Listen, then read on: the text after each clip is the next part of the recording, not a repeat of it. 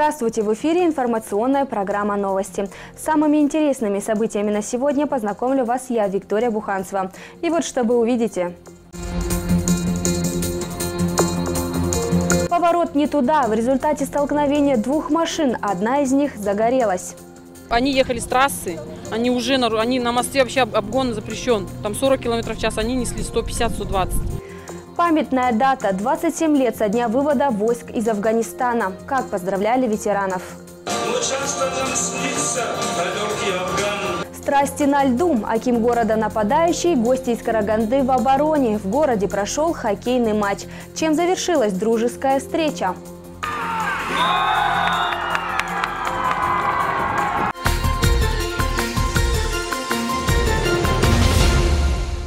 Прокатились с огоньком. В выходные на улице Кадыржанова столкнулись две машины. Одна загорелась. Потушить ее удалось только силами специалистов. Покореженное и выгоревшее наполовину авто теперь вряд ли удастся восстановить. Подробности у наших корреспондентов. Суббота около 4 часов дня. Черная «Тойота» на большой скорости летит по улице Кадыржанова. На повороте на микрорайон Мухамеджанова стоит золотистая иномарка. Маневр автомобиль так и не завершил. Сзади в него влетел тот самый гонщик. От удара одну машину развернула в противоположную сторону, вторую отбросила на тротуар. Пассажиров авто не было. Они ехали с трассы, они уже на, они на мосте вообще обгон запрещен. Там 40 км в час, они несли 150-120. Все, и, и мы вот ну, тоже так, как лобовой, чуть-чуть нас спас. Вот мы сюда доехали, здесь все-таки разбились. Оказалось, что и это еще не конец экстремального заезда. После столкновения черный нарушитель сначала задымил, а потом загорелся. Владелицы и очевидцы пытались потушить огонь самостоятельно, но справиться с пламенем удалось только специалистам. По прибытию установлено горение одного автомобиля в результате происшедшего ДТП. Э, в 16.10 э, подали один ствол пурга, в 16.12 э, локализация и в 16.20 полнейшая ликвидация пожара. Пострадавших в результате ДТП не было. Человеческих жертв, к счастью, избежать удалось, а вот техника изрядно пострадала. По словам свидетелей, водитель «Тойоты» был нетрезвым. Также, по некоторым данным, за другие нарушения его и вовсе лишили прав. Если вся эта информация подтвердится официально, гонщика ждет уголовное наказание. В противном случае – административное. Виктория Буханцева, Асхат Токбаев, Оркин Медиа. Рука помощи. Балхашские пенсионеры продолжают получать хлеб бесплатно. Специальная мера поддержки стартовала еще в прошлом году и до сих пор не прекратила свое действие. Подробности у Жанса Имусиной. Добрые дела. В фирменных магазинах «Горячий хлеб» нового балхашского хлебозавода появилась еще одна витрина. Вывеска над ней гласит «Если вы нуждаетесь, можете взять хлеб бесплатно». Так руководство хлебокомбината помогает обеспечить незащищенные слои населения самым главным продуктом – хлебом. Перед пенсией, конечно, немножко сложности, так что если когда иногда возьмешь бесплатный хлеб, то это большое вам спасибо. По-моему, она больше помогает, конечно, нам, пенсионерам, и особенно у кого много детей. Доброе дело позволило многим балхашцам почувствовать чуткое внимание и заботу. Несмотря на кризис, данная мера поддержки будет находить свое продолжение. Государство хоть и отпустило цены на хлеб, мы относимся к этому с пониманием. Хорошо, что в магазинах нового хлебозавода появились витрины, где пенсионеры может подойти и взять хлеб бесплатно. Очень хорошо, что витрина стоит отдельно, и можно подойти самой взять хлеб, что это не унижает достоинство. Несмотря на кризис, хлебокомбинат не повышал цены. Качественный, высшего сорта хлеб. Он всегда мягкий, вкусный и очень питательный. Ассортимент хлебобулочных изделий на хлебозаводе «Балхашнан» постоянно расширяется. Сегодня в линейке более 85 наименований продукции. В отделе реализации заверяют, что продукция вся раскупается и остатков не бывает, что позволяет балхашцам получать всегда свежий хлеб. Жансай Мусина, Думан Калабаев, специально для Казахстан Караганды. Латинская кухня. Сеть аптек «Кадар» пополнилась еще одной точкой. Магазин здоровья появился на улице Тампиева в центре города. Пришли за лекарствами, ушли с подарками. Под таким девизом прошло открытие аптеки. Первые 10 клиентов получили полезные призы. Эта точка стала десятой в составе команды «Кадар» и при этом одной из самых крупных. Принимать пациентов будут с 9 утра до 9 вечера, без перерывов и выходных. Это по многочисленным просьбам наших жителей. Потому что у нас в основном все аптеки немножко, так сказать, по периферии, а в центре э, в нашей аптеки нет. Учитывая то, что в, э, это, в наших аптеках цены самые демократичные по городу. Вот. Плюс еще у нас практикуются на, уже многолетние скидки пенсионерам, участникам войны, ветеранам. Вот, э, это в размере 10%. Живая память сердец. Ровно 27 лет назад официально закончилась война в Афганистане. И, как обычно, с этой датой ветеранов поздравляли в Политехническом колледже. 10 лет и почти 15 тысяч погибших, двое из которых – балхашцы. Вспоминали павших и выживших в театральной постановке. По сценарию не все, кто провожал, дождались своих сыновей, братьев и любимых.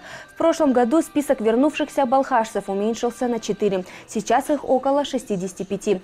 Имена всех погибших навсегда вписаны в черную историю Афганистана. А с недавнего времени и в карту нашего города в 2015-м на набережной появилась аллея воинов-интернационалистов.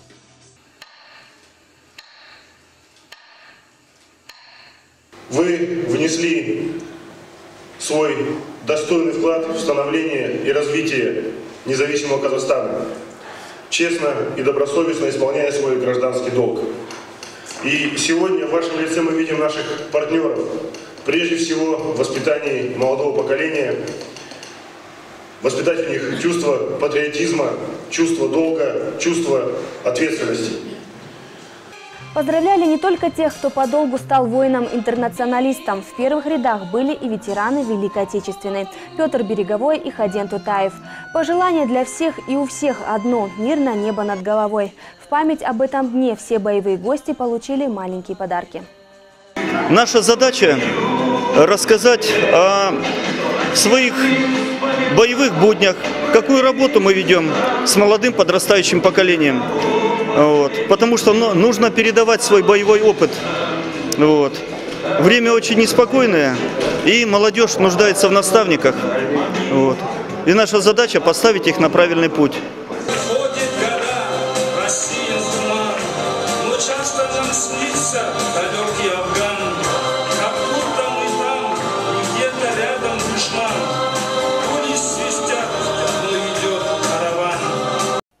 Наш телеканал тоже поздравляет воинов-интернационалистов. Для них и вместе с ними мы подготовили специальный проект, который стартовал сегодня. Повтор вы можете увидеть завтра и послезавтра в 19.00. И к другим новостям.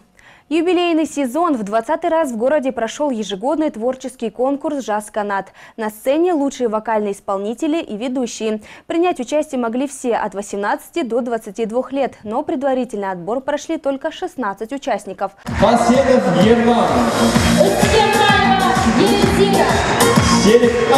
Ержан. Одна из счастливчиков Гульзат Абиубекова, студентка первого курса Алматинского вуза, приехала специально, чтобы попробовать себя. Артисты исполняли две песни, одну патриотическую, другую на свое усмотрение. Наша героиня выбрала лирическое произведение. Мен өзім Алматы қаласында. Я учусь в Алмате. Когда узнала про конкурс, решила поучаствовать и специально приехала. Готовилась долго, репетировала в школе поселка Шашубай и во дворце. Думаю, что выступила достойно. Но одного мнения конкурсантов мало. Выбор делала профессиональная жюри. Гран-при по вокалу и приз «Спринтер» достались работнику завода Ержану Сирикпаеву. Первое место присудили студентке многопрофильного колледжа Эльзире Ускенбаевой, которая исполнила песни на казахском и английском языках. Она и лучший ведущий из медколледжа Жангильды Кенжибаев получили планшеты. И это не единственные награды. Тройку победителей теперь ждет областной конкурс творчества, который пройдет в марте.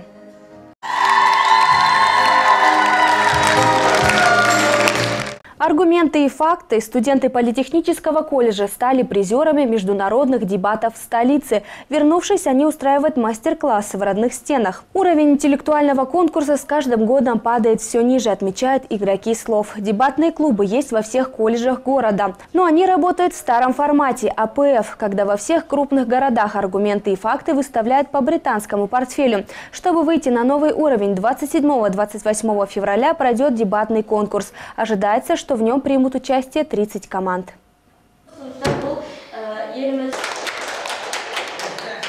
Хотим провести тренинг и обуч, обучающие тренинги и показательные группы по форматам американский парламентский формат, для того, чтобы у наших э, дебатеров, начинающих дебатеров, не были такие ошибки, которые сейчас они допускают. А допускают они ошибки именно по анализу игры, по конструктивной речи. На информационном фронте с десятилетним юбилеем Аким города поздравил газету «Северное Прибалхашье». Вместе с пожеланиями главы города редакции доставили открытку из Национального Евразийского университета. Газета выходит два раза в неделю на русском языке. За 10 лет работы она стала обладателями премии «Алтын Сункар» Акима области. В 2008 году газета получила благодарственное письмо от Министерства информации и связи. А в прошлом году председатель сообщества журналистов Сейдказы Матаев присудил Северному Прибалхашью специальный приз. В отличие от других газет, значит, совокупный тираж у нас 5000. Вообще число 10, оно очень магическое, наверное, да? А, есть такой знаменитый репортаж «10 дней, которые потрясли мир». А, конечно, мы не собираемся каждый день потрясать читателя, но стараемся собирать очень актуальные, оперативные, интересные новости. В Мишень отпраздновали юбилей газеты не только музыкально, но и спортивно. Балхашские журналисты соревновались не в меткости слов, а в меткости дротиков. В городской турнир по дарцу для работников СМИ заявились 10 участников, причем как молодых, так и опытных акул пера. Наши корреспонденты тоже поучаствовали. И вот что из этого вышло. Целься Пли. Тамара Григорьева в дарте новичок. Ветеран журналистики больше 40 лет трудилась с ручкой и бумагой и с металлическим пером научилась управляться за несколько минут. В Северном Прибалхашье работала до пенсии и на юбилей пришла просто поболеть за экс-коллег. Но на месте не усидела. Из зрителя репортер переквалифицировалась в участника. Я работаю в газете давно. В 70-е годы проводились областные соревнования среди журналистов. Я в них участвовала, там и стрельба была, там и э, шахматы и шашки. А сегодня вот э, Береке Галиевна в честь десятилетия э, Северного Прибалхашья дает старт новому виду соревнований. И пожелать э, участвовать не только в создании летописи города, но и в спортивной биографии Балхаша. На турнире журналисты из Северного Прибалхашья Балхаш Унире и Уркен Медиа соревновались в крикете, одной из дартс-игр. По правилам, участник должен с трех попыток попасть в двадцатку, потом закрыть все игровые номера до 15 и набрать наибольшее количество очков. Есть в мишени и бонусы, внешние кольца, попав в которые можно удвоить или утроить счет. Мы начали активно развивать дартс в прошлом году. Среди студентов уже есть хорошие игроки, которые выигрывали областные и республиканские соревнования. Среди школьников пока таких нет. Во всем мире это самый популярный вид спорта. Здесь не важно, сколько вам лет. Не нужно специальных навыков и не требует больших затрат.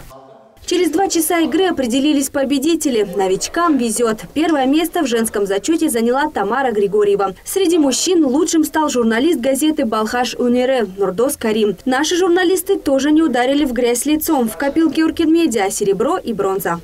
Виктория Буханцева, Схат Токбаев, Оркин Медиа. Всему голова. Балхашская сборная по хоккею отстаивала честь города против карагандинской команды. Во главе местного состава сыграл сам Аким Александр Аглиулин. А забивать шайбу противнику ему помогали крупные бизнесмены, ветераны спорта и даже студенты.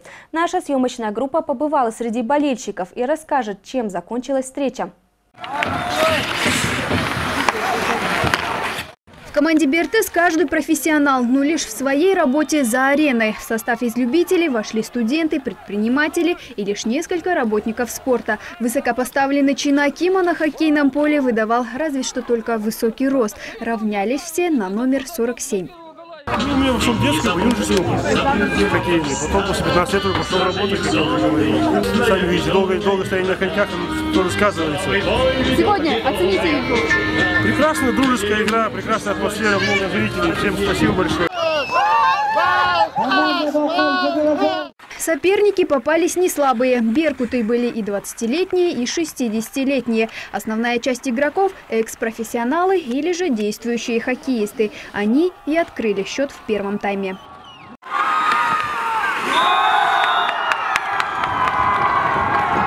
Наша хоккейная команда уже существует где-то пару десятков лет. То есть команда со стажем. Э, участники нашей команды в основном ветераны карагандинского хоккея.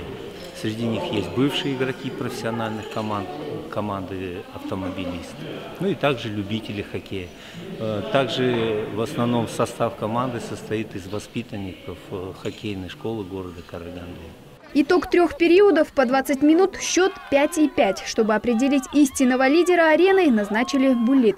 Два очка заработали противники, два очка – балхашцы. Последнюю шайбу в ворота соперника отправил 47 номер. Итог встречи 7,7.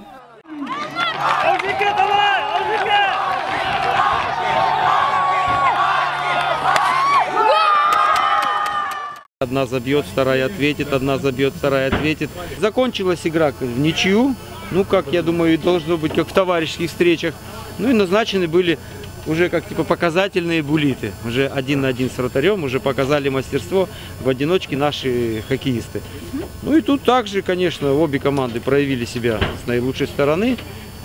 Удача была поочередно то на одной стороне, то на другой. Удача была и на третьей стороне. Болельщикам достались напитки и угощения за копейки. 5 тенге стоил чай, 10 тенге булочки да пирожки. 10 тенге пирожки, 10 тенге. Жансая Мусина, Илья Стокейбеков, Оркин Медиа. На сегодня все. Завтра из материалов наших журналистов вы узнаете о спортивных достижениях наших боксеров и борцов. Увидимся, как обычно, в 20.15. До свидания.